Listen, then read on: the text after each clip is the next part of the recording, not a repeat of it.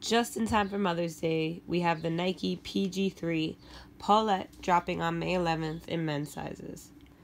This sneaker is a tribute to Paul George's mother for Mother's Day. Um, her name is Paulette, and so he named it after her.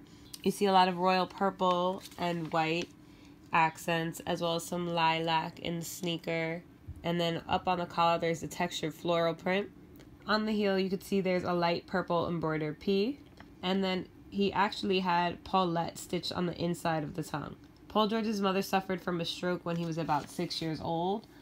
And so he honors the American Heart Association by putting a red ribbon inside of the sole of the sneaker.